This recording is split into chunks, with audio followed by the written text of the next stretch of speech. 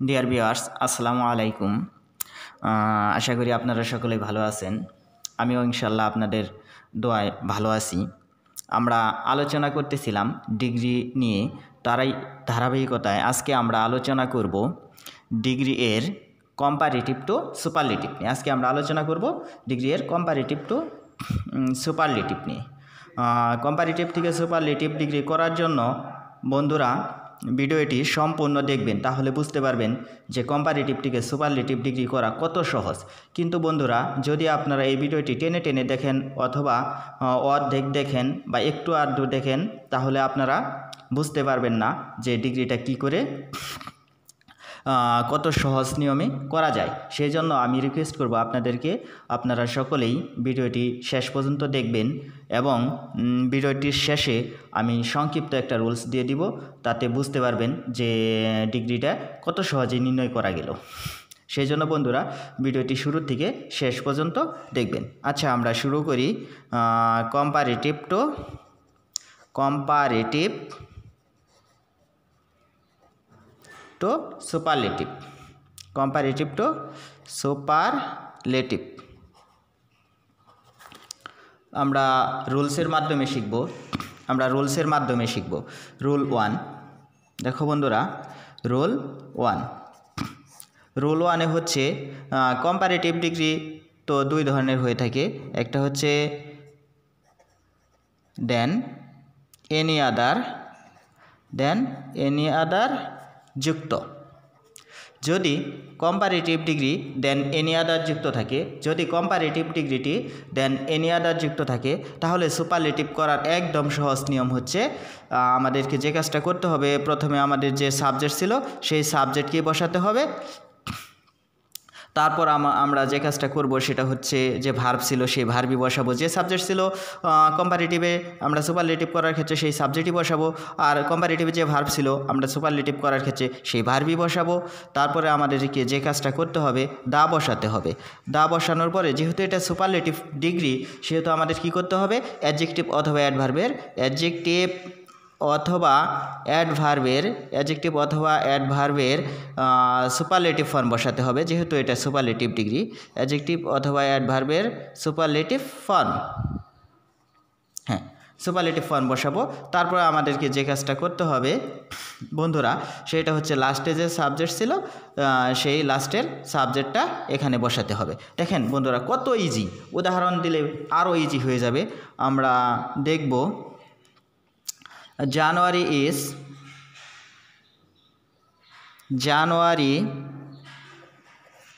is colder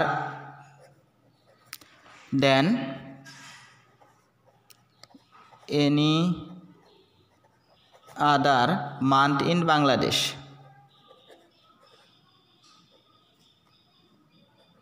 In Bangladesh.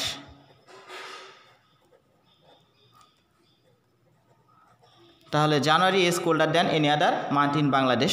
এটাকে যদি আমরা সুপারলেটিভ ডিগ্রি করতে যাই, এটাকে যদি আমরা সুপারলেটিভ করতে যাই, একদম সহজ। দেখো বন্ধুরা, এখানে জানুয়ারি ছিল সাবজেক্ট যেটা ছিল ভার্ব যেটা ছিল, সেটাই আমরা বসাবো। তাহলে কি হলো? জানুয়ারি ইস হবে এখানে, জানুয়ারি ইস তারপর আমাদের যে কাজটা করতে হবে, যেহেতু সুপারলেটিভ ডিগ্রি আর সুপারলেটিভ ডিগ্রিতে দা বসে, সেজন্য আমাদের কি বসাতে হবে? দা বসাতে হবে। জানুয়ারি ইজ দ্য তারপর এই যে কম্পারেটিভ ফর্ম ছিল অ্যাডজেক্টিভের এটাকে আমাদের কি করতে হবে? সুপারলেটিভ ফর্ম করে দিতে হবে। এটার সুপারলেটিভ ফর্ম হচ্ছে কোল্ড কোল্ড আর কোল্ডেস্ট হবে। কোল্ডেস্ট তাহলে কি? জানুয়ারি ইজ দ্য কোল্ডেস্ট তারপর আমাদের এই যে দেন এনি আদার আছে, এই অংশটুকু হবে না। এই অংশটুকু বাদ। এই অংশটুকু বাদ দিয়ে আমরা লাস্টে সাবজেক্ট লিখব month in Bangladesh month in Bangladesh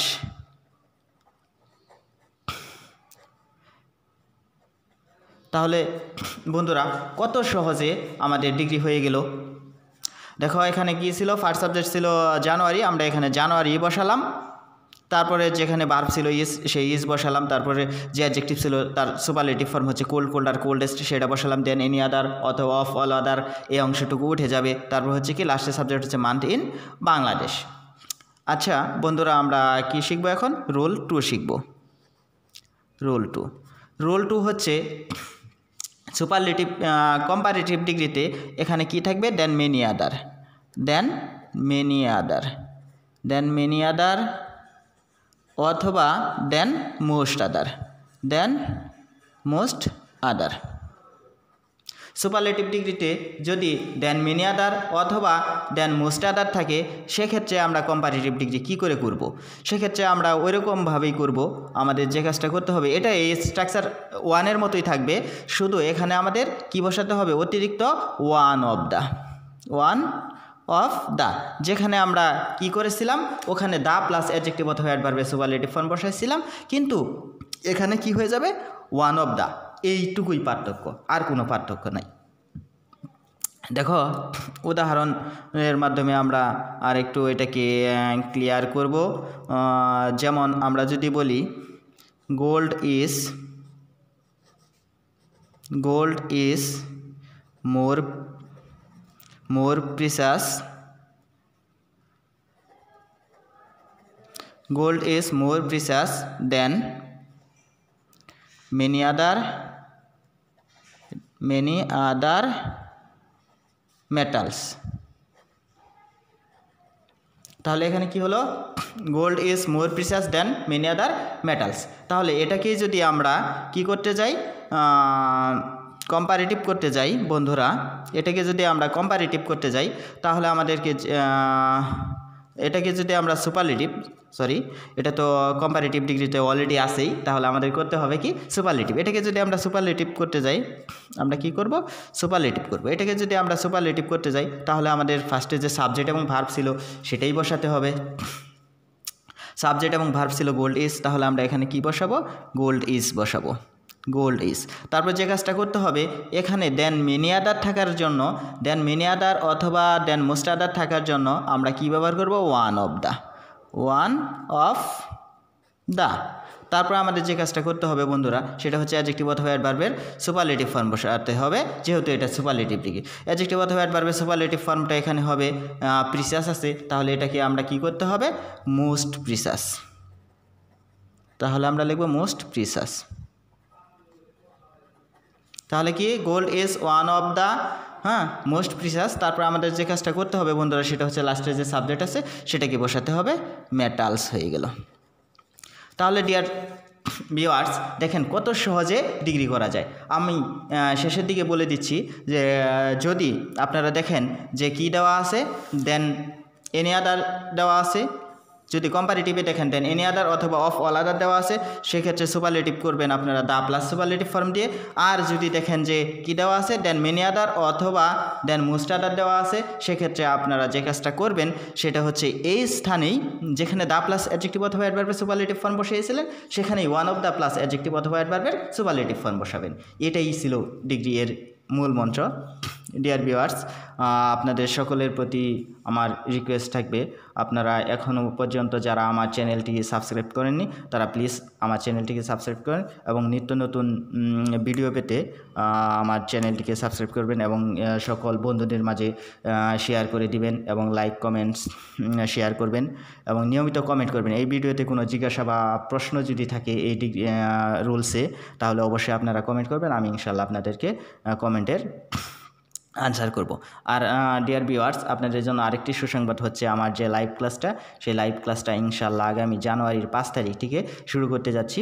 আপনারা আপনাদের বন্ধুদেরকে এটা বলে দিবেন এবং কি শেয়ার করে দিবেন এবং ইনশাল্লাহ আপনারা সকলেই আমার এই লাইভ ক্লাসে অংশগ্রহণ করবেন।